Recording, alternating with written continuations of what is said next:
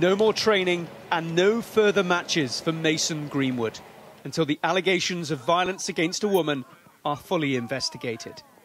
The 20 year old forward has spent four years at Manchester United, but the club moved quickly to suspend him after multiple allegations were published on an Instagram account. The police confirmed he was arrested and officers were seen at his home near Altrincham. In a statement, they said Greater Manchester Police were made aware earlier today of online social media images and videos posted by a woman reporting incidents of physical violence.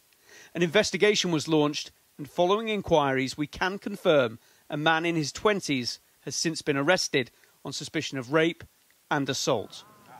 His clubs say that legal process now needs to take its course and added that Manchester United do not condone violence of any kind. They confirmed Mason Greenwood will not return to training or play matches until further notice. Greenwood has also previously played for England.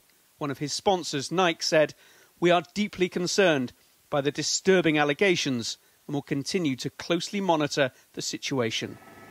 At the centre of this is a woman who has a right to privacy, as well as a high profile footballer who has the right to be heard.